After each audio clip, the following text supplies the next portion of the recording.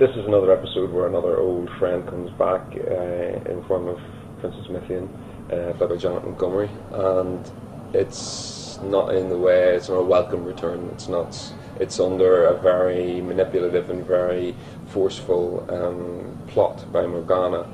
Um, who this stage is actually in disguise of a character called Hilda, who is this old crone who Katie plays fantastically. Um, she, it's, I know from previous experience that it's not easy doing doing the doing the prosthetic makeup and to be in it for as long as she was in the type of conditions that we was as well. She was she was fantastic in it, and it's an episode where what I really liked was that Merlin was, was, was pretty much on the ball from the beginning of it. That, that, that he knew he knew something was up, and he was he was he was straight on it. It, it, it highlights, I think, how much he's grown up in the years. Um, previously, he may have trusted people. He's become less naive. He's become less trusting, and he is more active in his pursuits.